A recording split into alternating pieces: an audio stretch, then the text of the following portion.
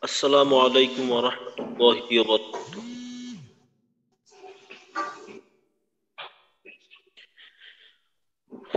بسم الله الرحمن الرحيم.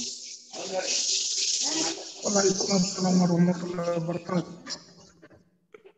بسم الله الرحمن الرحيم. اللهم صل على محمد وعلى آل محمد. كما صليت على إبراهيم وعلى آل إبراهيم إنك حميد مجيد. اللهم بارك على محمد وعلى آل محمد. كما باركت على إبراهيم وعلى آل إبراهيم إنك حميد مجيد. ربي زدني علما. ربي زدني علما. ربي زدني علما. رب اشرح لي صدري ويسر لي أمري. واحلل عقدة من لساني يفقه قولي وبك نستعين يا مستعان. ربي يسر ولا تعسر وتمم علينا بالخير.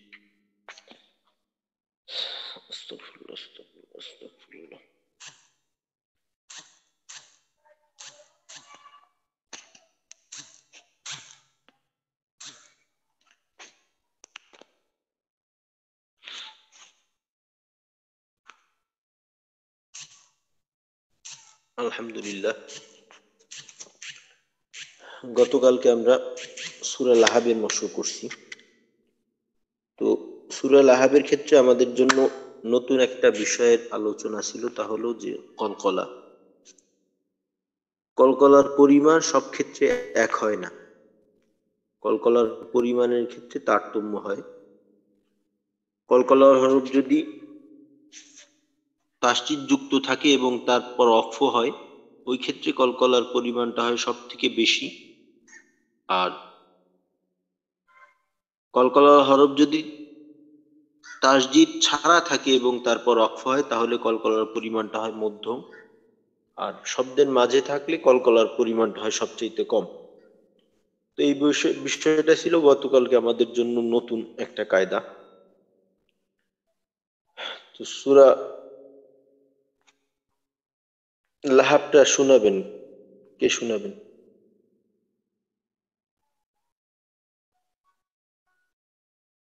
সুরা লাহাব শুনান একজনে।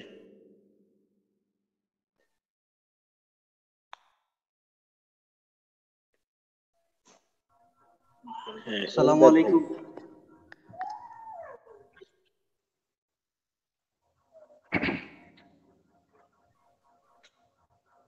আহ, মারুফ হাসান ভাই মারুফ হাসান ভাই শুনান।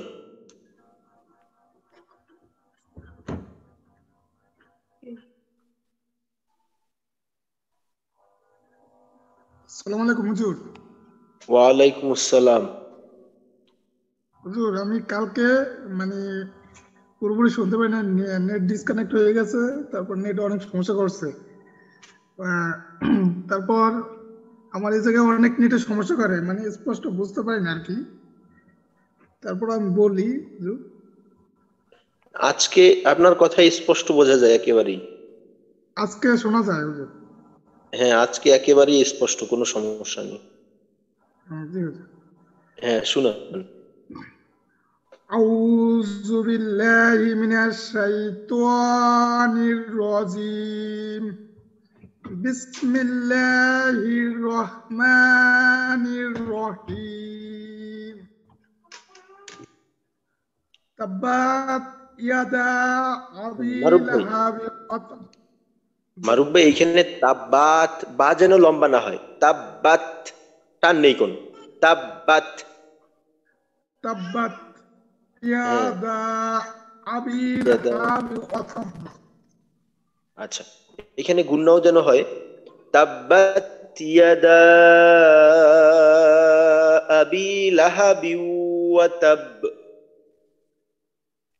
করতে হবে এখানে। আর একবার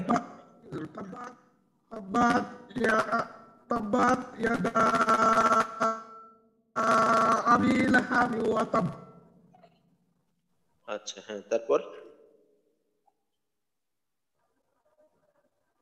ما أغنى عنه ماله وما كسب ওয়ামা কাসাব ওয়ামা মা যেন টান হয় ওয়ামা কাসাব আচ্ছা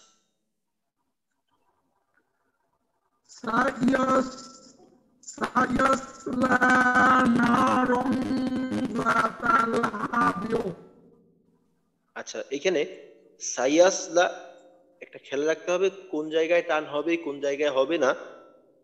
যে জায়গায় হবে না, ওইটা খেয়াল করার দরকার নেই। যেখানে হবে, শুধু ওইটা খেয়াল করে ওই জায়গাটায় টান দিবেন, বাকি জায়গায় যেন কোনো টান না হয়।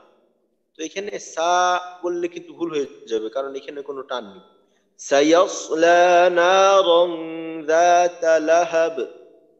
আবার।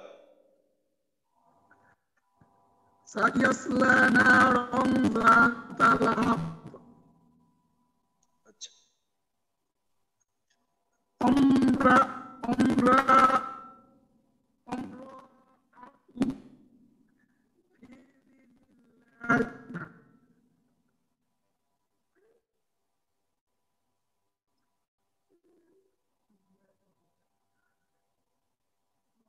আচ্ছা মারুফ ভাইয়ের কথা কিন্তু শোনা যায়। আতু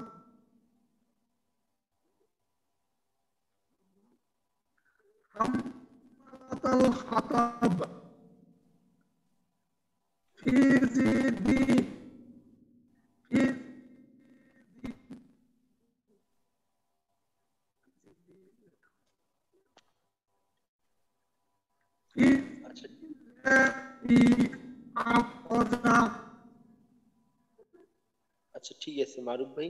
মারুফ ভাই, শুরুর দিক থেকে বুঝছি, কিন্তু শেষের দিক থেকে বিষয়গুলো বুঝতে পারিনি। তো মারুফ ভাই হোয়াটসঅ্যাপে সবসময় শোনানোর চেষ্টা করবে। আচ্ছা এবার আমি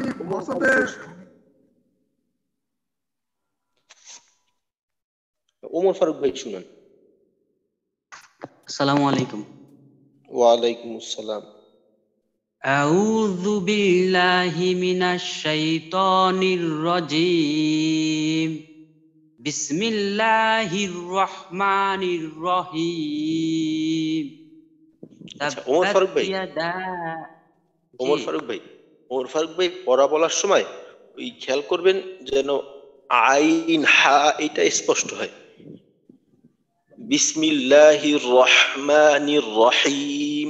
হা হাটা যেন একটু হলকের মধ্যখান থেকে স্পষ্ট ভাবে হয়। হ্যাঁ আবার বলেন একবার। بسم الله الرحمن الرحيم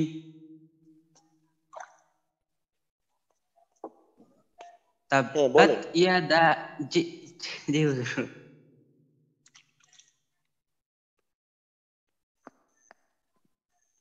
হুজুর বলবো জি বলেন تبت يدا أبي لهب وتب ما মা আগনা আনহু মালুহু ওয়ামা কাসাব ওয়ামা কাসাব। আচ্ছা, সায়াসলা আনহু এই যে আনহু হু কিন্তু একটু টান হয়ে গেছে। তো এখানে টান দেওয়া যাবে না। আনহু মা আগনা আনহু মালুহু প্রথম আনহু এইখানে আনা আনহু মালুহু ওয়া মা কাসাব আচ্ছা সায়াসলা নারন যাতা লাহাব ওয়া ইমরাতুহু হাম্মালাতাল হাতাব আচ্ছা এইখানে ওয়ামরা ওমর ফারুক ভাই ওয়ামরাআতুহু যেন না হয়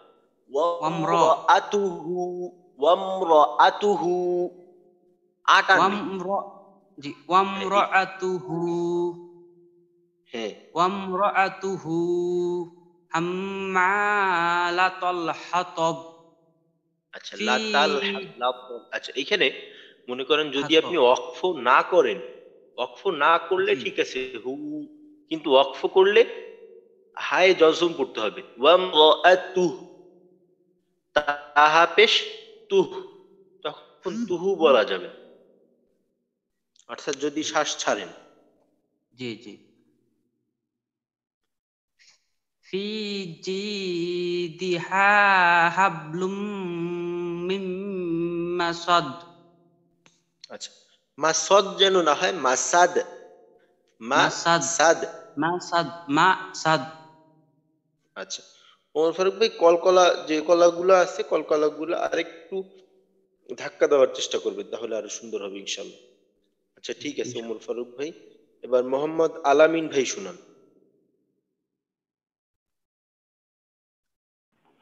আসসালামু আলাইকুম ওয়ালাইকুম আসসালাম রহমতুল্লাহ بسم الله الرحمن الرحيم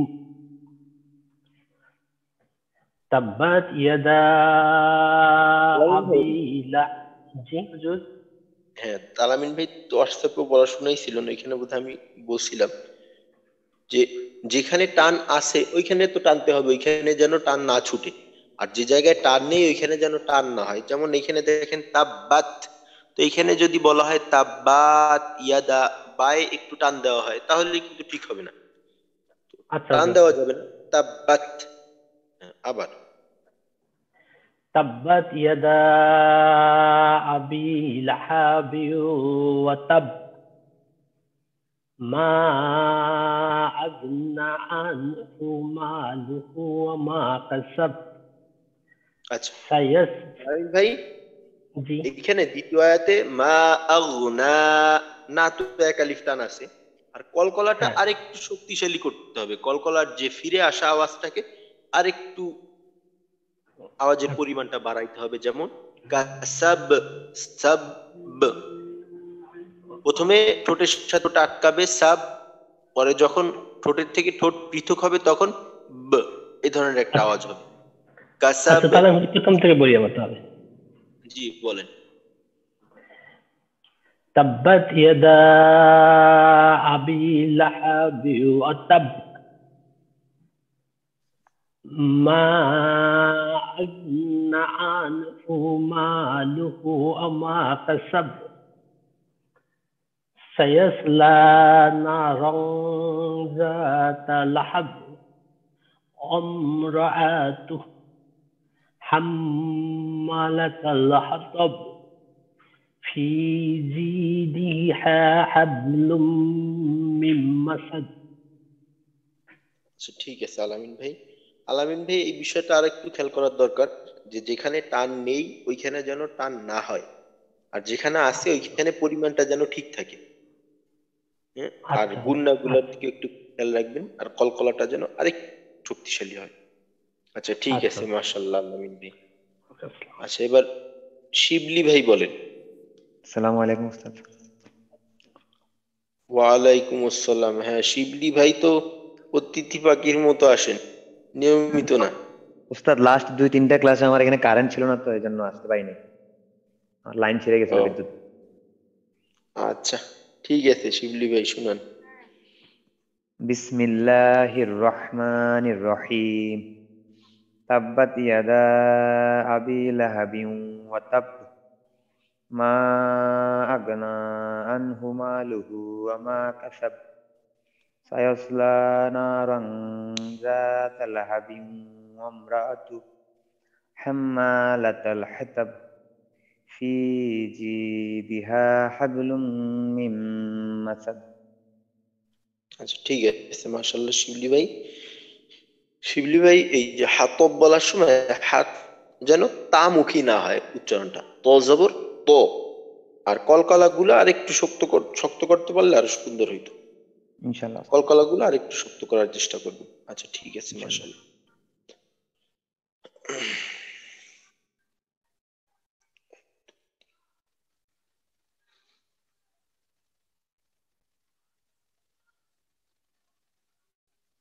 আচ্ছা আজকে ইনশাল্লাহ আমরা সূরা ইখলাস পড়ব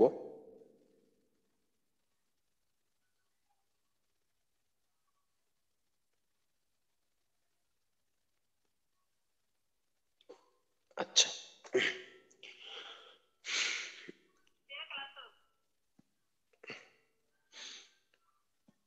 আচ্ছা এই মস্কো করার সময় আমরা তো এই পর্যন্ত প্রত্যেকটা সুরা বা যা কিছু পড়ছি আমরা বানান করে করে পড়ছি। সামনে আমাদের আর তিনটা সুরা বাকি আছে, সুরা এখলাস সুরা ফালাক এবং সুরা নাস। এবং নামাজের দুইটা দোয়া পড়ব, দুরুদ শরীফ, দোয়া মাসুরা তো আমরা যদি এই সামনের পড়াগুলি বানান করে না পড়ে, শুধু কায়দা বলে বললে পড়ি, তাহলে কি আমাদের কারোর জন্য সমস্যা হবে কিনা? না, হুজুর। হ্যাঁ কারও সমস্যা থাকলে জানাবে আমরা এখন আর বানান করব না।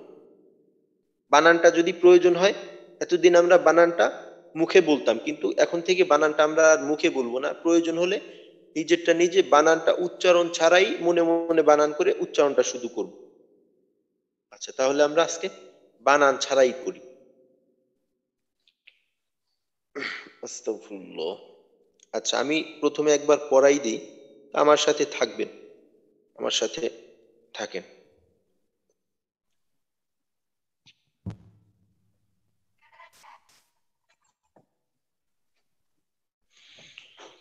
আস্তাগফিরুল্লাহ আস্তাগফিরুল্লাহ। সূরা ইখলাস খুবই বরকতপূর্ণ একটা সূরা। হাদিসের মাঝে সূরা ইখলাসের ব্যাপারে বলা হয়েছে যে এটা হলো নিসফে কোরআন। অর্থাৎ কোরআনের এক তৃতীয় অংশ। এই জন্যই সূরা ইখলাস যদি তিনবার পাঠ করা হয়, তাহলে এক খতম কোরআন শরীফের সব পাওয়া যায়। সূরা এখলাসের যদিও সূরাটা অনেক ছোট, কিন্তু এর ফজিলত অনেক বড়। এক হাদিসের মাঝে উল্লেখ করা আছে, এক সাহাবীর ব্যাপারে আল্লাহ রসুলের কাছে অভিযোগ করা হলো যে, ইয়া রাসূলুল্লাহ, অমুক ব্যক্তি প্রত্যেক নামাজেই প্রত্যেক রাখাতে সূরা এখলাস পড়ে। তো আল্লাহ রসুল তাকে জিজ্ঞাসা করলেন যে, আসলে ব্যাপারটা সত্য কিনা? তো তখন সে বললেন যে হ্যাঁ ইয়া রাসূলুল্লাহ, আমি সূরা ইখলাস প্রতি সবসময় পড়ি। তো এর কারণ জিজ্ঞাসা করা হইলে সে তখন বলল যে, আসলে এটা আমার ভালো লাগে। এর প্রতি মহব্বতের কথা উল্লেখ করল আর কি।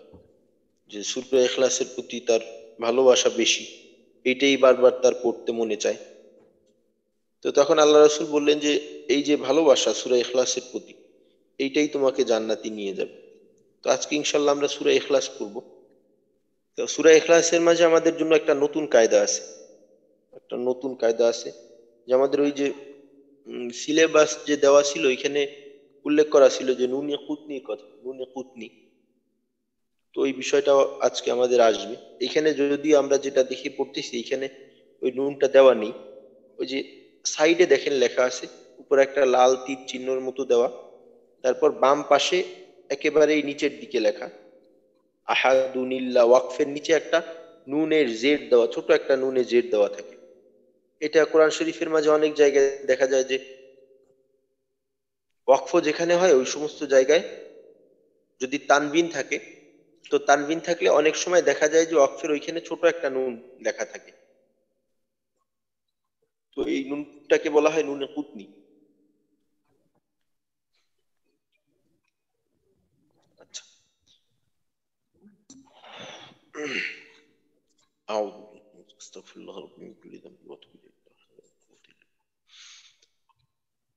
أعوذ بالله من الشيطان الرجيم أعوذ بالله من الشيطان الرجيم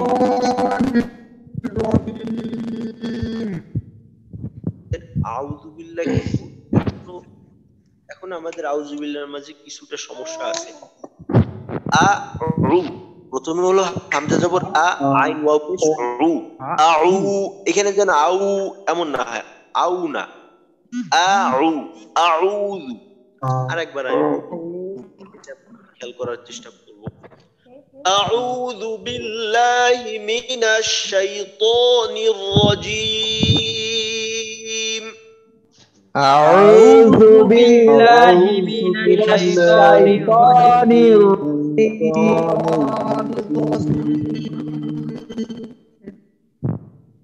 بسم الله الرحمن الرحيم Bismillahirrahmanirrahim. Bismillahirrahmanirrahim.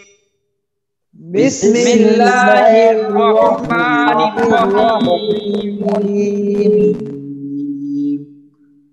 বিষয়গুলো হলো এমন যে আমাদের এই যে ভুলগুলি হয় আমি সব সময় বলার চেষ্টা করি, কোনো ভুল আমার চোখের সামনে আমি শুনলে ওইটা বলার চেষ্টা করি। হয়তো অনেক ক্ষেত্রে বলা হয় না বা বারংবার বলা হয়, দেখে তার বারংবার বলি, এই কারণে দেখা যায় দুই একবার ভুলটা হইলেও ওইটা আর বলি না। এই বিষয়গুলো যে আছে, এইটা আমাদের, এই যে আমাদের এই সময়কালটা, কোর্সের যে মেয়াদকাল, এর ভিতরে সংশোধন হওয়াটা পরিপূর্ণভাবে আসলেও কিন্তু সম্ভব না। এটার জন্য লম্বা একটা সময় প্রয়োজন।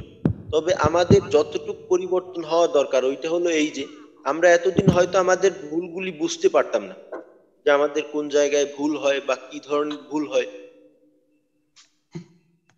আমাদের অন্তত এতটুক পরিবর্তন হইতে হবে, এই অবুজ অবস্থায় থাকা যাবে না। এই বুঝটা যেন আমরা পরিপূর্ণভাবে অর্জন করতে পারি যে আমাদের কোনটা ভুল এবং ওই ভুলটা কি কারণে হয়। মনে করেন আউদু বলার ক্ষেত্রে আমরা বলি আউদু তো এইখানে সমস্যাটা কি? সমস্যাটা হলো যে আইনের যে মাখরাজ, এইখানে আমাদের একটু সমস্যা। তারপর বিসমিল্লাহির রহমানির রহিম তো এইখানে আমরা বলি রহিম। এইখানে সমস্যাটা কি? যদিও এখন এই মুহূর্তে হয়তো আমাদের অনেকের ক্ষেত্রে রহিম রহিম, এইভাবে হা মাখরাজ থেকে বলাটা সম্ভব হইতেছে না। কিন্তু এইটা যে ভুল, এই বিষয়টা কিন্তু আমার ক্লিয়ার থাকতে হবে। এবং যখনই পড়ব প্রত্যেকবারেই আমাদের এইটার দিকে খেয়াল দিতে হবে। তো এই বিষয়টা যেমনটা আমাদের জন্য দুঃখজনক, তেমনটা আনন্দেরও। অর্থাৎ এই যে আমাদের এই যে ভুলগুলি, এই ভুলগুলি এখন আমাদের সামনে আসতেছে, এই ভুলগুলি ধরা পড়তেছে এটা আমাদের জন্য একটা দুঃখজনকও যেমন, কিন্তু এখানে আমাদের জন্য ভালো বিষয়ও আছে। এক তো হলো আমরা দীর্ঘ দেখা যায় যে আমাদের, আমরা এখন এই মুহূর্তে যারা আছি, আমাদের উপর নামাজ ফরজ হয়েছে অনেক, কয়েক যুগ হয়তো হয়ে গেছে। তো এতদিন আমরা এইভাবেই পড়তাম। আউযু বিল্লাহটাকে আউযু এইভাবে পড়তাম বিসমিল্লাকে রহিম এইভাবে পড়ি আলহামদু এর জায়গায় আলহামদু পড়ি। এই যে একাধিক যুগ যাবত অনেকের ক্ষেত্রে। এই যে আমরা ভুলগুলি করতাম এই ভুলগুলি যে আমাদের ছিল, এটা হলো এই মুহূর্তে এসে যখন দেখলাম যে আমাদের এটা ভুল ছিল, তো এইটা একটু দুঃখজনক। কিন্তু এইখানে ভালো বিষয়টা হলো এই যে আল্লাহ রব্বুল আলামিন আমাদেরকে ভালোবাসছেন। যে কারণেই হয়তো আমাদের এই ভুলগুলি আল্লাহ রব্বুল আলামিন আমাদের সামনে নিয়ে আসছেন। আমাদেরকে বোঝার তৌফিক দান করছেন বা এমন একটা জায়গায় নিয়ে আসছেন যে জায়গায় এসে আমরা আমাদের এই ভুলগুলি চিনতে পারলাম। এটা হলো ভালো দিক। এর পরে যদি আমাদের এই পরিবর্তনটা না হয় এই সময়ের মাঝে না হোক পরবর্তীতে যদি আমরা এটার সাথে যুক্ত না থেকে যদি এইটা সংশোধনটা না করি তাহলে এইটা কিন্তু হবে মারাত্মক দুঃখজনক। এবং ওই বিষয়টা আরও খারাপ হবে। এতদিন আমরা না জেনে একটা বিষয় করতাম এইটা তো একটা হলো সমস্যাকর। কিন্তু এখন আমরা জানলাম আল্লাহ রবুল আলমী আমাদেরকে ভালোবাসার মাধ্যমে আল্লাহ আমাদেরকে তারপরেও যদি আমরা পরিবর্তন না করি তাহলে কিন্তু এটা হবে দুঃখজনক। আপনাদেরকে একদিন একটা হাদিস শুনাইছিলাম যে মাই ইউরিদিল্লাহ বিহি ফিদ্দিন যে আল্লাহ রাব্বুল আলামিন যাকে ভালোবাসেন তাকেই দিনের বুঝ দান করেন। তো এই যে আমার আউযুবিল্লাহ পড়াটা, এটা শুদ্ধ না, এইটা ভুল। এই বুঝটা যে আল্লাহ রব্বুল আলামিন আমাদেরকে দান করলেন এর অর্থ এই যে আল্লাহ রব্বুল আলামিন আমাদেরকে ভালোবাসেন তো এই ভালোবাসার প্রতিদানটা কিন্তু আমারও দিতে হবে। আল্লাহ যেহেতু ভালোবেসে আমাকে এই বুঝটা দান করছেন এই প্রতিদানটা আমাকে দিতে হবে এটা সংশোধন করে। এখন যদি এর প্রতিদানটা আমরা না দেই, ভালোবাসাটার অবমূল্যায়ন করি ওই ক্ষেত্রে কিন্তু বিষয়টা খারাপ হবে, বেশি খারাপ হয়ে যাবে। তো আমরা এটা চেষ্টা করব, ইনশাল্লাহ আল্লাহর কাছে দোয়া করব, আল্লাহ যেন আমাদের জন্য সহজ করে দেন। এটা আমরা প্রতিনিয়ত খেয়াল করব এই বিষয়গুলো, যখনই আমাদের সামনে আসবে তখনই এটা খেয়াল করব। আচ্ছা।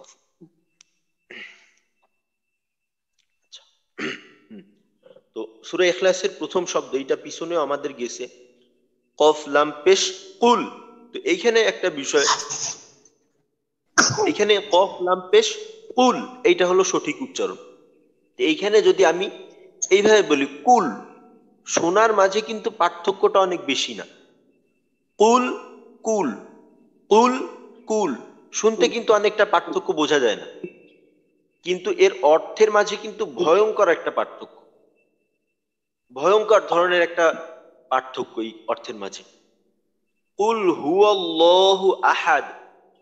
এর অর্থ কি? অর্থ হলো আল্লাহ রব্বুল আলমিন রাসূলকে বলছেন যে, হে রাসূল, আপনি বলুন যে আল্লাহ এক, হুয়াল্লাহু আহাদ, যে আল্লাহ এক।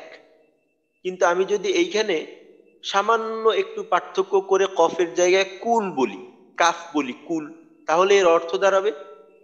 হে নবী, আপনি খেয়ে ফেলুন। আল্লাহ এক, তার মানে এক আল্লাহকে আপনি খেয়ে ফেলুন। কেমন একটা অর্থ খারাপ অর্থ হইতেছে তো এই বিষয়গুলো আমাদের খুব খেয়াল করতে হবে যেন একটা উচ্চারণের জায়গায় অন্য আর একটা উচ্চারণ না হয় যেটা কিনা আমাদের গতকালকে আলোচনা হইলো যে বড় ভুলগুলা কি ছোট ভুল কি তো এই বিষয়টা আমরা খুব খেয়াল করবো ইনশাল্লাহ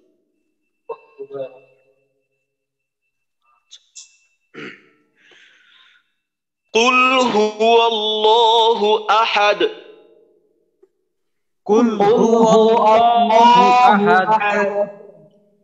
আমি কিন্তু যদিও একসাথে বলছি পুরা একটা কিন্তু আমার এই পড়ার মাঝে কিন্তু একটু ভেঙে ভেঙে পড়ছি। আমি কিন্তু এক টানে পড়িনি। কুল হুয়াল্লাহু আহাদ। কুল হুয়াল্লাহু আহাদ। এইখানে দেখেন আমাদের সাধারণত সমস্যাগুলো কি হয়? এখানে মদের কায়দা বলতে গেলে এখানে দুই তিনটা কায়দা। একটা হলো আল্লাহ শব্দের লাম মোটা আল্লাহ শব্দ একালিফ টানতে হবে।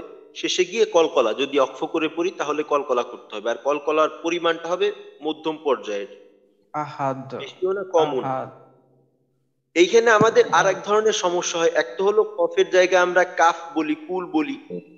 দ্বিতীয় সমস্যা হয় এখানে আছে হু ওয়াল্ল ওয়াল্ল। ওয়াও লাম জবর ওয়াল। এইখানে আমাদের অনেকের ক্ষেত্রেই হু আল্লাহ হু আল্লাহ এই ধরনের হয় হু আল্লাহ কুল হু আল্লাহ হু আল্লাহ এখন যদি বলি হু আল্লাহু বা হু আল্লাহু আ বললে কিন্তু ওয়াও এর উচ্চারণ হয় না। আ বললে হামজার উচ্চারণ হয়, হামজার দুর্বল একটা হামজার উচ্চারণ হয়। কিন্তু আ বললে ওয়াও এর উচ্চারণ মোটেও হয় না। তো ওয়াও এর উচ্চারণ করার জন্য মুখ গোল করে ওয়াও এর মাখরাজ ঠিক রেখে তারপর করতে হবে। হু ওয়া, হু ওয়াল, হু হু বলার পর ওয়াম জবর প্রথমে উচ্চারণের জন্য প্রথমে ঠোঁট এবারেই গোল করব, ওয়াল ওয়াল, ঠোঁট একেবারে গোল অবস্থা থেকে উচ্চারণটা শুরু হবে, তারপর লামের মাঝে গিয়ে আমাদের ঠোঁটটা খুলে যাবে, ওয়াল, ওয়াও লাম জবর, ওয়াল ওয়াল, এটা যেন তোর ওয়াওয়ের উচ্চারণটা যেন ঠিক থাকে, যেন অল না হয়। বা আল এই ধরনের না হয়। আর একটা হলো আল্লাহ শব্দের লাম যেন মোটা হয়। তো এই দুই সমস্যার মাঝে বড় সমস্যা হলো ওয়াওয়ের উচ্চারণ ঠিক না হওয়া। আল্লাহ শব্দের লাম যদি মোটা আমি আমরা না করি, তাহলে ওইটা একটা ভুল। তবে এই ভুলের কারণে শব্দের গঠন পরিবর্তন হবে না, শব্দের গঠন ঠিক থাকবে। কিন্তু ওয়াওয়ের উচ্চারণটা ঠিক না থাকলে তাহলে শব্দের গঠন পরিবর্তন হয়ে যাবে। আচ্ছা আবার বলি। قل هو الله أحد قل هو الله أحد الله أحد আহাদ না আহাদ আহাদ আহাদ হাদ আল জবর হাদ যেহেতু আমরা অক্ষের কারণে এইখানে জজম পূর্ব দালে যদিও দুই পেশ আছে তো কলকলা করতে হবে আর কলকলা করতে গিয়ে যেন হার উচ্চারণ লম্বা হয়ে হাদ এমনটা না হয় হাদ আরেকবার বলি قل هو الله أحد قل قل هو هو الله أحد أحد أحد এই হুয়াল্লাহ শব্দটা আমরা কয়েকবার বলি এখানে আমাদের একটু সমস্যা হইতেছে হুয়াল্লাহু هو هو الله هو الله والله والله والله والله والله والله هو الله هو الله أحد أحد أحد أحد أحد أحد আচ্ছা, এবার পুরোটা একসাথে বলি কুল হুয়াল্লাহু আহাদ قل هو الله أحد আহাদ আচ্ছা এইখানে যে বিষয়টা, ওই যে নুনে কুতনির কথা বললাম, যে অনেক সময় দেখবেন যে আয়াতের যদি তানবিন থাকে, তাহলে আয়াতের শেষে তানবিন থাকলে সব ক্ষেত্রে যে এমন, বিষয়টা এমন না। আয়াতের ক্ষেত্রে দুই পেশ তানবিন থাকলে বা দুই জেড থাকলে, অনেক সময় এমনটা হয় যে ছোট একটা নুন লেখা থাকে। এইভাবে ছোট একটা নুন লেখা থাকে, নুনে যে এইখানে যেটা কিনা জেড দেওয়া আছে। আমরা যে কোরআন শরীফ দেখে পড়ি ওই কোরআন শরীফের মাঝে ওইটা দেওয়া আছে কিন্তু এইখানে নেই। তো এই নুনটাকে বলা হয় নুনে কুতনি। নুনটাকে বলা হয় নুনে কুতনি। তো এই নুনটা থাকলে যেটা করতে হয় আপনি যদি অক্ষ করেন তাহলে এই নুনের ব্যবহার আসবে না। এই নুনটা ব্যবহার হবে না। যদি আপনি ওয়াকফ না করে পরবর্তী আয়াতের সঙ্গে মিলিয়ে পড়েন ওই ক্ষেত্রে যে কাজটা করতে হবে আপনার দুইটা জিনিস বাদ দিতে হবে। একটা হলো দুই পেশ তানবিন আছে, দুই পেশের তানবিন থেকে একটা পেশ বাদ দিয়ে দিতে হবে। আর দ্বিতীয়ত পরবর্তীতে যে আলিফ বা লম্বা হামজার আল, জবর এইটাকে বাদ দিয়ে দিতে হবে। দালের এক পেশ বাদ দিয়ে দেব, হামজা, এই হামজার উচ্চারণটা বাদ দিয়ে দেব। আর মাঝে যুক্ত করব নি। তাহলে কি হবে উচ্চারণটা? উচ্চারণটা এমন হবে, দু নিল্লাহু, দুনিল্লা দুনিল্লা। স্বাভাবিকভাবে এইখানে ভাবে দেওয়া আছে, এইভাবে যদি মিলাই পড়তে যাই তাহলে হবে, কুল হুয়াল্লাহু আহাদুন, আল্লাহু সমাদ। হুয়াল্লাহু আহাদুন, আল্লাহু সমাদ। কিন্তু ওই যে নুনে কুতনি যেটা আছে, নুনে কুতনি যেহেতু এখানে আছে বা হবে, এখানে দেওয়া নেই। নুনে কুতনি থাকার কারণে এইটা করতে হবে। কুল হুয়াল্লাহু আহাদুনিল্লাহু সমাদ।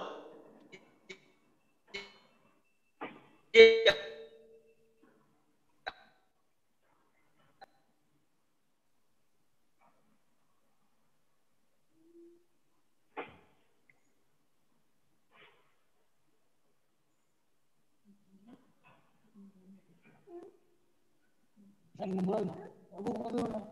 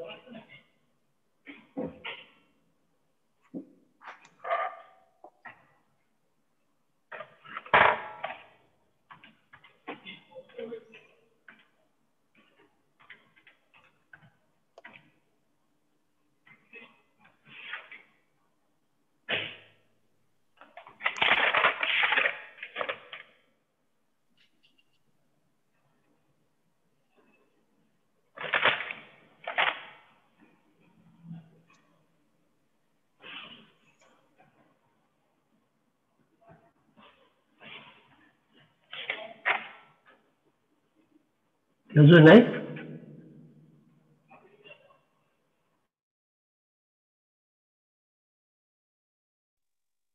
জি স্যার সমস্যা কি?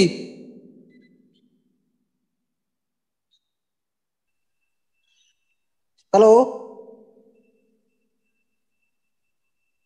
হুজুরের নেটের প্রবলেম করতেছে।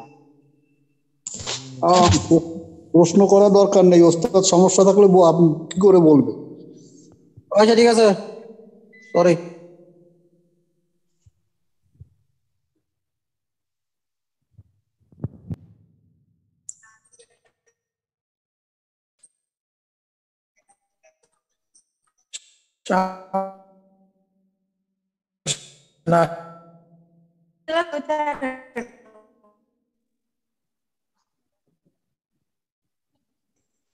Assalamualaikum. আমার নেটওয়ার্কে একটু সমস্যা। হঠাৎ করে হঠাৎ করে সমস্যা হয়ে গেছে। যাই হোক সুবিধাটাও যেমন আসলে অসুবিধাও তেমন। তো এতটাই সুবিধা যে আমাদের দূরত্ব থাকার পরেও আমরা একসাথে কথা বলতেছি। তা অসুবিধা হলো যে কোনো পূর্ব সংকেত ছাড়াই হঠাৎ করে লাইনটা চলে গেল। আল্লাহ। নুনে কুতনির কথা বলতেছিলাম। তো এইখানে নুনে কুতনি আসার কারণে যেটা হবে যে নীল্লা পড়ব আমরা। আহাদু নীল্লা দালের থেকে একটা জবর বাদ দেব এবং পরবর্তী যে হামজাটা আছে, ওই হামজাটা, হামজার যে জবর, ওইটা বাদ হয়ে যাবে। দালের থেকে একটা পেশ বাদ দেব আর পরবর্তী হামজার জবরটা বাদ হয়ে যাবে। হামজাটা আর আমলে আসবে না। ওই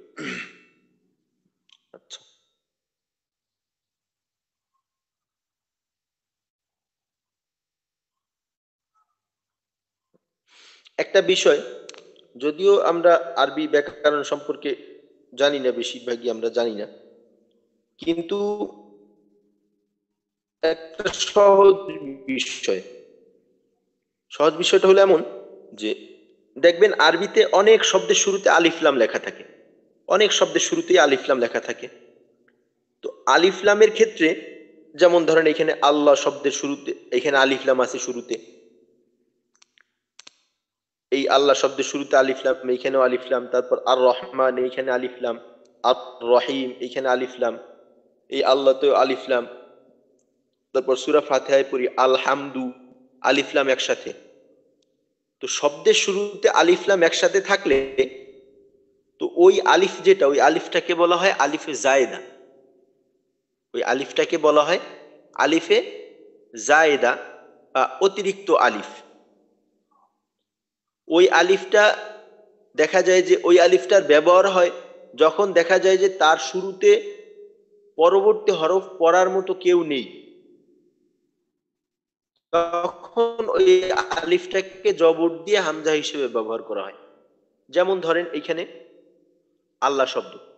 আল্লাহ শব্দটা যদি আমরা আলাদাভাবে পড়ি তখন বলি আল্লাহ। কিন্তু এই সুরা ইখলাসের প্রথম আয়াতে কুল হুয়াল্লাহ এখানে আল্লাহ শব্দের লামের তাসদিদ পড়ার জন্য পূর্বে ওয়াওয়ে জবর আছে। তো যেহেতু আল্লাহ শব্দের তাসদিদ পড়ার জন্য একটা হরকত পাওয়া গেল, তো ওই আলিফটা এখন আর কোনো কাজ নেই। ওই আলিফটার এখন আর কোনো কাজ নেই, ও অবসরে চলে যাবে। কিন্তু আলিফটা লেখা থাকবে। যখন দেখা যাবে যে পূর্বে কেউ নেই ওই লামটাকে পড়ার জন্য, তখন ওই আলিফটা ব্যবহার হবে। তারপর আর রহমান, আমরা বলি আল্লাহর সিফতি নাম। আর রহমানু, আর রহিমু আল্লাহর সিফতি নাম কিন্তু এখানে দেখেন আলিফ ঠিকই আসছে কিন্তু এই আলিফটা কোনো কাজে আসতেছে না। নির হির রহমান, হির রহিমপুরি আলিফটা কোনো কাজে আসে না। তো এই আলিফকে বলা হয় আলিফে জায়েদা। এই নুনে কুটনি প্রথম আয়াতের পরে যে নুনে কুটনিটা সাধারণত কোরআন শরীফে লেখা থাকে আল্লাহ শব্দের শুরুতে এই হামজাটার ব্যবহার হইতেছে কারণ পূর্বের হরকত নেই, হরকত না থাকার কারণে আল্লাহ শব্দের লাম পূর্বে কি দিয়ে? ওই আলিফকে একটা জবর দিয়ে হামজা বানিয়ে আল্লাহু করা হইতেছে। তো যখন দেখা যাবে যে এর পূর্বে কিছু আছে, নুনে কুতনি থাকবে, ওই ক্ষেত্রে আলিফটা বাদ হয়ে যাবে, হামজাটার আর ব্যবহার থাকবে না। তো ওইখানে হবে নিল্লাহুস সমাদ নিল্লাহুস সমাদ। এখন আর একটা প্রশ্ন থাকতে পারে।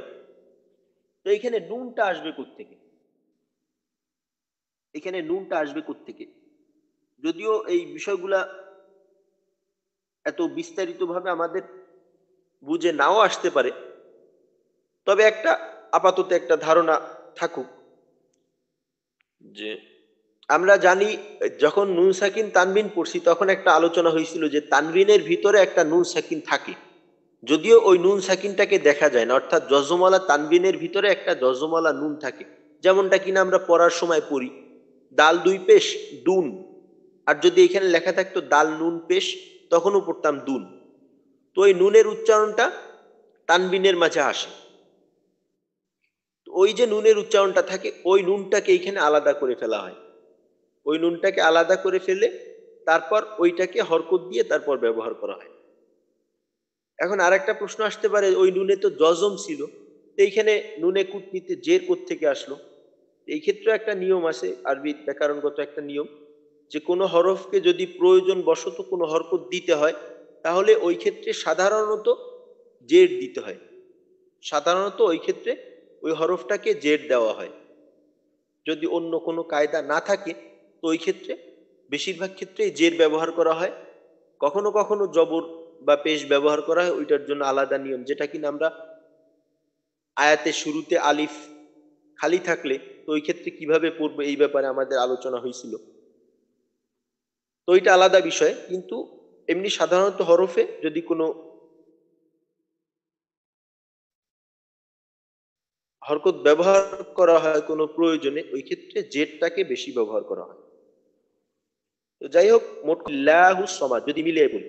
কুল হুয়াল্লাহু আহাদু নিল্লাহু সমাদ, তখন আর আল্লাহ শব্দের লাম মোটা হবে না, কারণ তখন জেরের আল্লাহ শব্দের তাসদিদের ডানে জের থাকবে। এই যে হামজাটা আছে এই হামজাটা তখন আর পড়ার মাঝে আসবে না হামজা জবরটা। হুজুর আসসালামু আলাইকুম। জি। ওই যে ওয়াকফর ডানে দুই পেশ আর দুই জবর থাকলেই নুনুকুতনিতে কার্যকর হবে নাকি? না দুই জবর দুই পেশ ছাড়া অন্য ক্ষেত্র হবে? এটা সাধারণত তানবিনের ক্ষেত্রে হয়। তানবিন ছাড়া নুনে কুতনি কখনো আসে না। তানবিন তো দুই জেরেও তানবিন হয় তখনও কি এটা হবে নাকি সেটা বলছি। না দুই পেশ আর দুই জেরেই হবে। এটা তানবিনের সাধারণত এমনটা হয় সাধারণত এমনটা হয়।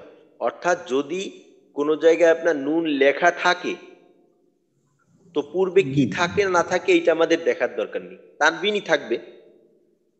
তানবিনই থাকবে তো ওই ক্ষেত্রে তানবিনের একটা অংশ বাদ দিয়ে দিতে হবে। দুই জবর আচ্ছা। দুই জের দুই পেশ এটা হলো তানবিন। একটা অংশ বাদ দিয়ে পড়ব আর কি আমরা। আচ্ছা। আচ্ছা। তো আমরা যেহেতু অক্ষ করলাম তো আলাদাভাবেই দ্বিতীয় আয়াতটা পড়ি। আচ্ছা বিসমিল্লাহ। আল্লাহু সামাদ।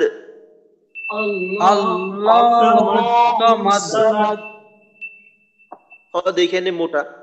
এখানে কায়দা বলতে আল্লাহ শব্দের লাম মোটা যেহেতু আমরা আলাদা করে পড়তেছি এই ক্ষেত্রে আল্লাহ শব্দের তাসদিদের দানে জবর। তো আল্লাহ শব্দের লাম মোটা আল্লাহ শব্দের নাম একালি এবং দালে কলকলা। আল্লাহু সামাদ।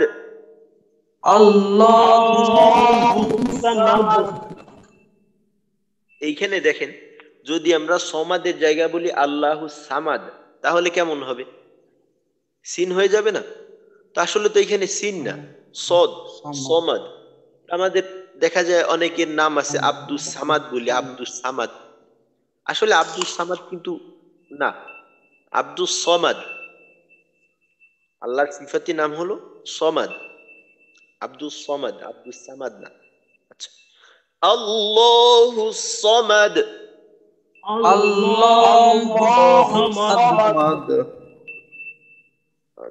সদকে আমরা যত সম্ভব আরো মোটা করার চেষ্টা করব আল্লাহু সমাদ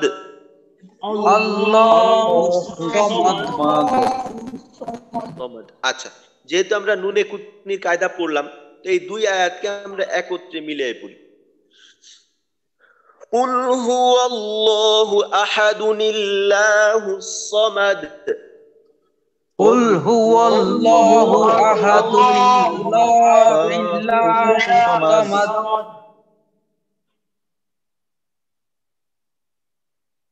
قل هو الله أحد الله الصمد قل هو الله أحد الله الصمد নুনে কুতনি পড়লে কিন্তু আল্লাহ শব্দের লাম মোটা হবে না তখন পাতলা হবে আর একবার বলি قل هو الله أحد الله الصمد قل هو الله أحد الله الصمد সমাদ যেন সমাদ এইভাবে মাটা লম্বা না হয় সমাদ দ্বিতীয় আয়াত দেখি ওই তৃতীয় আয়াত লাম ইয়ালিদ ওয়ালাম ইউলাদ لم يلد ولم يولد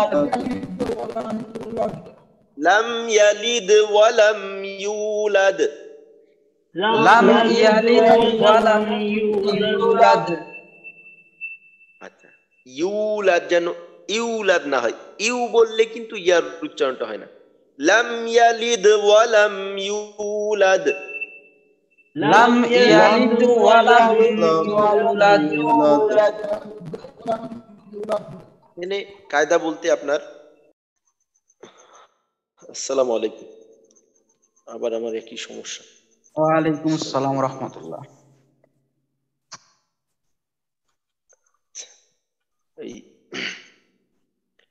লাম ইয়ালিদ ওয়ালাম ইউলাদ। এই আয়াতের ক্ষেত্রে আমাদের একটা সমস্যা দেখা যায়। সমস্যাটা হলো এমন লাম মিম জবর লাম ইয়া জবর ইয়া লাম ইয়া লাম ইয়া। এইখানে আমরা অনেক সময় অনেক দেখা যায় অনেকে এখানে পড়ে লামিয়া লামিয়া তো এখন যদি আমি মিমের জজমের জায়গায় জের পড়ি জজমের জায়গায় জের পড়ি অর্থাৎ লাম জবর মিমের মি ইয়া জবর ইয়া লামিয়া তাহলে কিন্তু এই ভুলটাকে ওই যে গতকালকে আলোচনায় গেল, বড় ভুল বা লাহানে জলি বলা হবে। এই বিষয়টা আমরা খেয়াল রাখব যেন আমাদের লামিয়া না হয়। অনেকে দেখবেন মেয়ের নাম রাখে লামিয়া। বাংলায় বানানোর সময় লেখা হয়, লয়কার লা ময়ূরিষ্কার মি অন্তস্তি আকার লামিয়া। এক তো হলো যে এই নামের আসলে কোনো অর্থই নেই। অর্থহীন একটা নাম, দুইটা, একটা শব্দের খণ্ড অংশ। আর একটা বিষয় যে যাও যদিও তারপরও যদি ঠিক থাকতো উচ্চারণটা তাও হইতো। তো উচ্চারণটা লামিয়া না? লাম ইয়া লাম ইয়া লাম ইয়া। তো মিমে রস্বীকার বা দিয়ে ব্যবহার করা যাবে লাম ইয়া। তারপর কলকলা হয়েছে এখানে। একই। লাম এবং ওলাদ ইউ একা লিফ টান দিতে হবে আবার এরকম দুটো সমস্যা আছে না যেখানে বাহু তল লিখতে হবে লাম ইয়ালিদ ওয়া লাম ইউলাদ লাম ইয়ালিদ ওয়া লাম ইউলাদ ওয়া লাম ইউলাদ তাহলে কি হবে তখন আপনি দেখতে লাম ইয়ালিদ ওয়া লাম ইউলাদ লাম ইয়ালিদ ওয়ালাম ইউলাদ। একটানে করব এইখানে একটানে বলতে যেন লাম ইয়ালিদ ওয়ালাম ইউলাদ ইউলাদ না হয়। ওয়ালাম ইউলাদ ওয়ালাম ইয়া পেশ ইয়া ওয়াও পেশ ইউ ইয়া ওয়াও পেশ ইউ জিব্বার মধ্যখানে আলুর সঙ্গে লাগাইয়া ইউ ওয়ালাম ইউ حرك برضو يلد ولم يولد. لم يلد ولم يولد. ولم يكن له كفوا أحد. ولم يكن له كفوا أحد. ولم يكن له كفوا أحد ولم يكن له كفوا أحد أحد এই ক্ষেত্রেও দেখা যায় আমাদের একটা কমন সমস্যা হয় এই ফায়ে পেশ কু ফু কাফ পেশ কু ফা পেশ ফু কুফু তো এইখানে আমাদের অনেক সময় এমন হয় কুফ ওয়ান কুফ ওয়ান ফায়ের পেশের উচ্চারণটা পূর্ণাঙ্গ ভাবে হওয়ার আগেই আমরা ফাকে ছাড়ি। তো তখন হয়ে যায় কুফ ওয়ান আহাদ কুফ ওয়ান না কুফু ওয়ান কু ফু ওয়ান আহাদ। আবার বলি। ওয়ালাম ইয়াকুল্লাহু কুফুয়ান আহাদ। ওয়ালাম ইয়াকুল্লাহু আহাদ। আহাদ। أحد أحد ولم يكن له كفوا أحد ওয়ালাম ولم ইয়াকুল লাহু কুফুওয়ান আহাদ أحد আচ্ছা এই আয়াতের মাঝে মোট কায়দা হলো মিম সাকিনের ইজহার লাম তারপর ইয়াকুল্লাহু নুন সাকিনের পরে লাম আসছে। গুন্না ছাড়া মিলে করতে হবে। পরবর্তীতে হু মাদ টানতে হবে। কুফু, তারপর ওয়ান। এখানে নুন সাকিন তানবিনের পর হামজা হলো ইজহারের হরফ। গুন্না ছাড়া স্পষ্ট করে পড়তে হবে। ওয়ান। আর শেষে যেহেতু আমরা অক্ফ করি, তো অক্ফের কারণে এখানে দালে আমরা তাসজিদ, জজম পড়ব যে কারণে কলকলা হবে। আহাদ। এই কায়দাগুলোর দিক বিশেষভাবে খেয়াল করব। আর কুফু যেন ফার পেস্টে স্পষ্ট থাকে। আর একবার বলি এই আয়াতটা। ওয়ালাম ইয়াকুন লাহু কুফুয়ান আহাদ। ওয়ালাম লাহু কুফুয়ান আহাদ।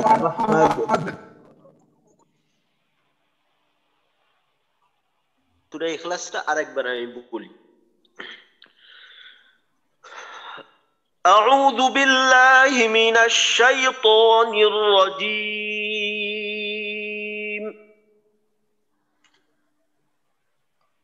أعوذ بالله من الشيطان الرجيم.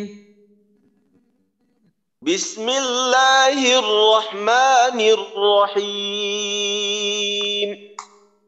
بسم الله الرحمن الرحيم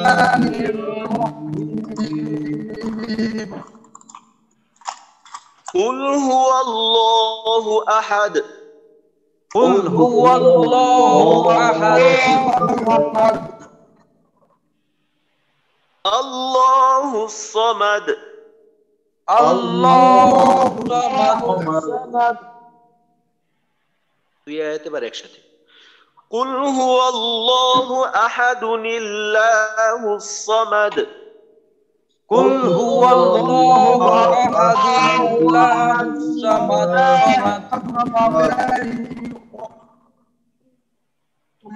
لم يلد ولم يولد.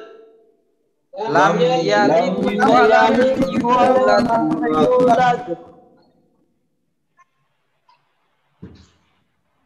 لم يلد ولم يولد. لم يلد ولم يولد.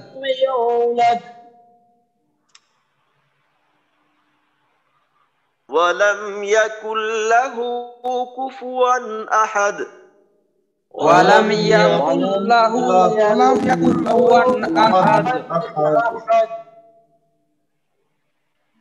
ولم يكن له كفوا أحد ولم يكن له كفوا أحد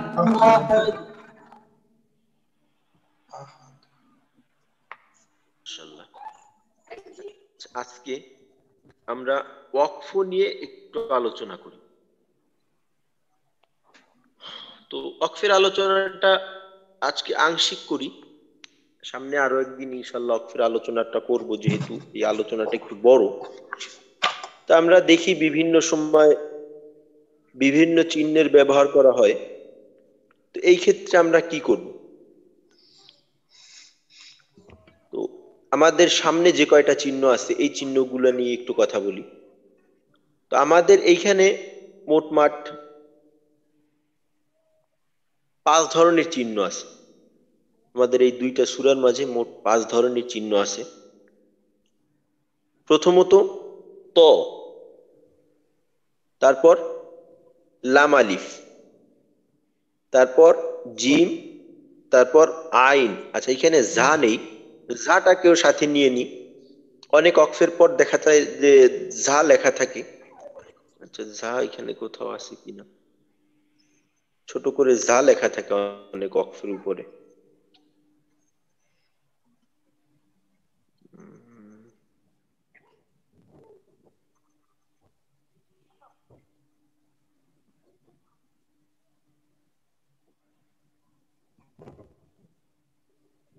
আচ্ছা এখানে মোটা যা নেই।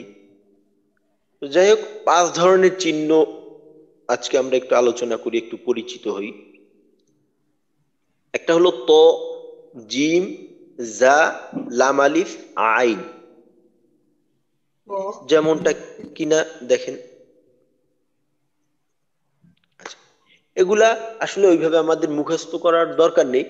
তো প্রত্যেকটা কোরআন শরীফের শুরুতে বা শেষে অক্ষর সম্পর্কে একটা ধারণা দেওয়া থাকে।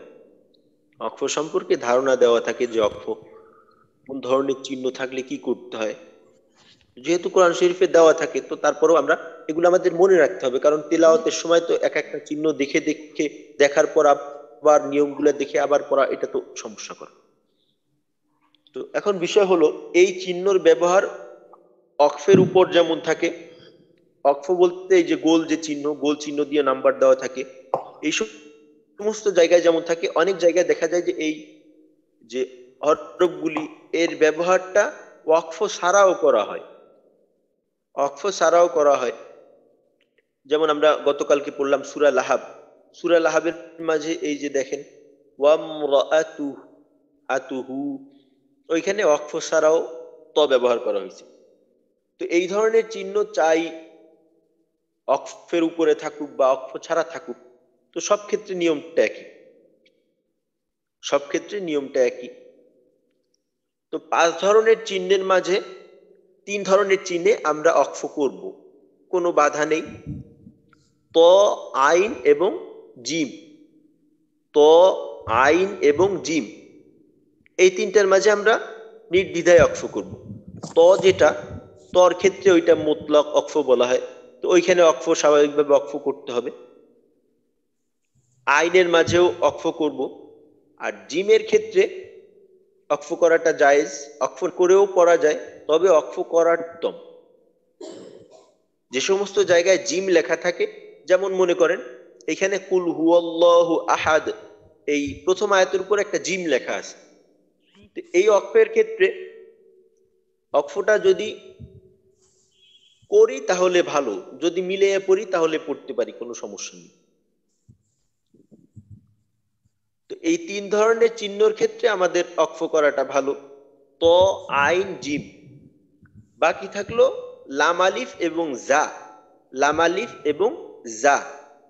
যার ক্ষেত্রে হুকুমটা হলো যে ওইখানেও অক্ষ চাইলে করা যায়, তবে না করা উত্তম। যার ক্ষেত্রে অক্ষ চাইলে করা যায়, তবে না করাটা উত্তম। যার ক্ষেত্রে? জিমের ক্ষেত্রে ছিল অক্ষ না করে মিলে পড়ার সুযোগ আছে, তবে অক্ষ করাটা ভালো।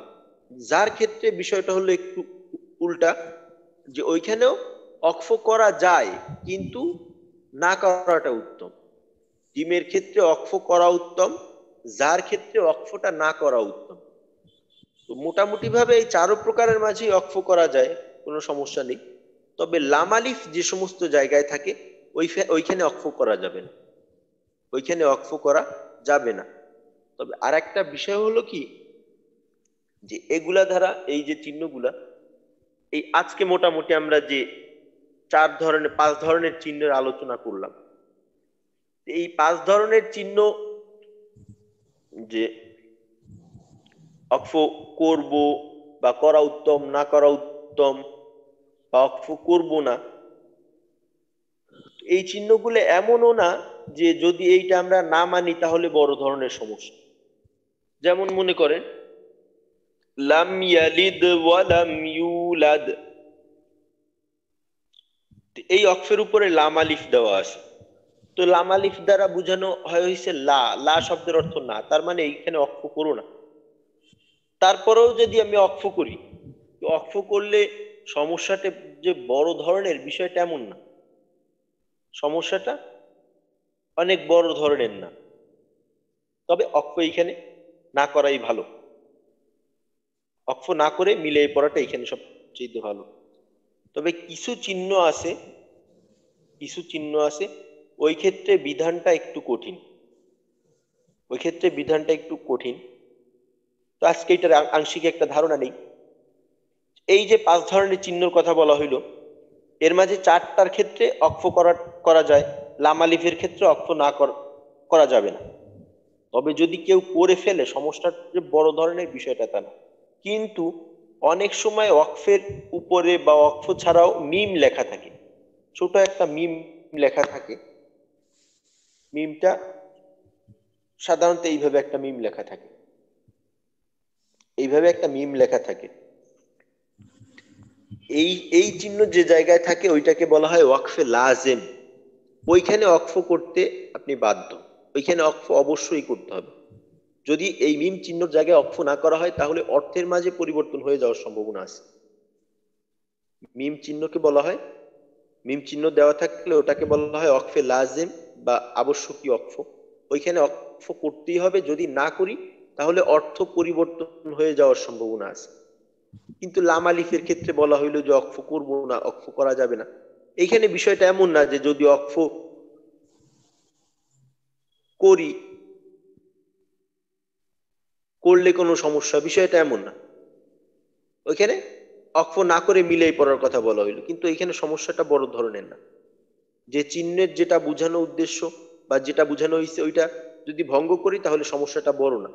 কিন্তু যেখানে মিম দেওয়া থাকে, ওই ক্ষেত্রে অবশ্যই আমাদের মানতে হবে। অন্যথায় আমাদের তেলাওয়াতের যে অর্থ এটা পরিবর্তন হয়ে যাওয়ার সম্ভাবনা আছে। তো এই বিষয়গুলো আমরা মনে রাখার চেষ্টা করব কারণ এই ধরনের চিহ্নগুলো কি বেশি দায়রা? দায়রা কি? জি? দায়রা। দায়রা? কাকে বলে? ওয়াকফর কি এই যে গোল চিহ্ন কি দায়রা বলে নাকি? গোল চিহ্ন। দায়রা শব্দের অর্থ হলো সীম। আচ্ছা দায়রা এই শব্দটার অর্থ হলো সীমা। একটা আচ্ছা। সীমানা দেওয়া এটাকে বলে দায়রা। আচ্ছা আজকে আমরা এতটুকু মনে রাখার চেষ্টা করি। আর আগামীকালকের ক্লাসের আগে আমরা একটু ওই কোরআন শরীফে একটু দেখে আসার চেষ্টা করব আসলে কোন অক্ষর দ্বারা কি বোঝানো হয়। তো ইনশাল্লাহ আগামী ক্লাসে হয়তো আমরা অক্ষর নিয়ে একটা বিস্তারিত আলোচনা করব। তো আজকে অক্ষর সম্পর্কে আমরা এই পাঁচ, ছয় ধরনের চিহ্ন সম্পর্কে আলোচনা হইল। এর মাঝে মিমটা বাধ্যতামূলক। মিমটা বাধ্যতামূলক আর লাম আলিফের ক্ষেত্রে বলা হলো যে অক্ষ করব না। আর যার ক্ষেত্রে অক্ষ না করা ভালো, করলে সমস্যা নেই। আর ত, জিম এবং আইন এখানে অক্ষ কর- করতে হবে, অক্ষ করব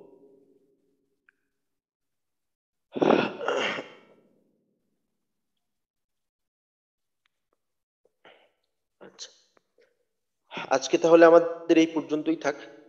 তো আমাদের সময় আস্তে আস্তে শেষ হয়ে গেছে, আর বেশি সময় আমাদের হাতে নেই। আর আট দিনের মতো আছে, আমাদের আট, বত্রিশ দিন, আজকের দিন সহ বত্রিশ দিন হয়ে গেল।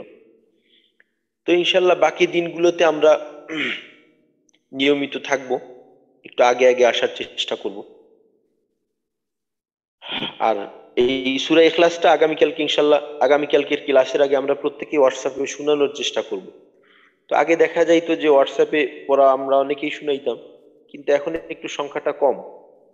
অথচ এই সময়টায় পড়া শোনানোর প্রয়োজনটা বেশি।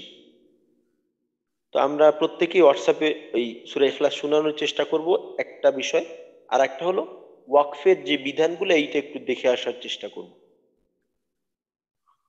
আজকে তাহলে এই পর্যন্তই থাকলো ইনশাআল্লাহ আগামীকালকে আমরা নতুন কোন সূরা পড়ব আসসালামু আলাইকুম ওয়া রাহমাতুল্লাহি ওয়া বারাকাতুহু ওয়ালাইকুম ওয়ালাইকুম আসসালাম ওয়া রাহমাতুল্লাহি ওয়া বারাকাতুহু سبحان الله وبحمده سبحانك اللهم وبحمدك أشهد أن لا إله إلا أنت نستغفرك ونتوب إليك